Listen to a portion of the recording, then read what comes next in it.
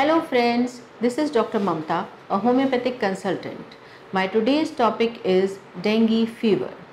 Dengue fever triggers an instant scare in the minds of people and it's right so.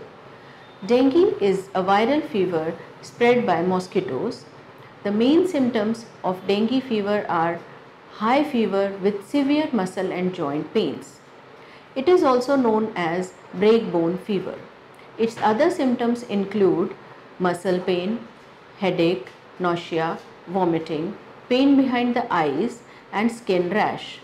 In some cases there is hemorrhagic tendency and hemorrhage could be from nose, gums, stool, under the skin or in the form of vomiting.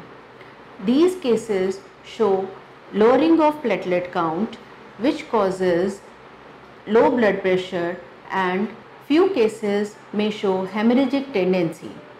Hemorrhage could be from nose, gums, under the skin in the form of vomiting or from stool.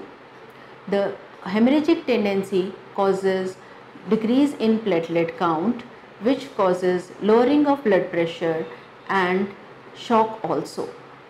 Homeopathic medicines are very effective in treating such cases. These medicines are made up of natural substances and are very safe with no side effects. Today I will discuss with you few of such medicines. One very important medicine is Eupatorium perf. This medicine is indicated when high grade fever is associated with severe muscle and joint pains, there is headache, nausea and vomiting and patients all symptoms are better by sweating except the headache. This medicine can also be used as a preventive medicine. Another medicine is gelsemium. This medicine can be given when patient presents with high fever with extreme weakness and prostration. He wants to lie down in perfect silence and there is absence of thirst. Along with this, there is headache with heaviness in eyes. Now main medicines for dengue hemorrhagic fever are China, Ipecac and arsenic album.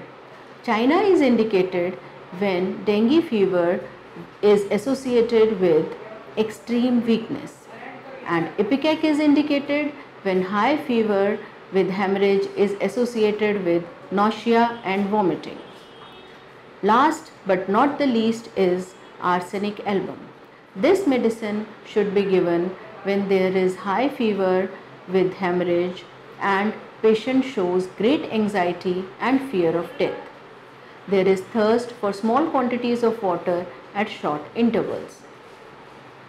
Along with these medicines, you should advise your patient to take plenty of fluids and balanced diet and complete bed rest.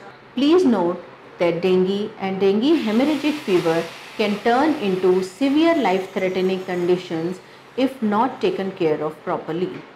So please consult a physician while treating such patients. Now, if you have any query or need a consultation, you can contact me on Lybrate. Thank you and have a nice day.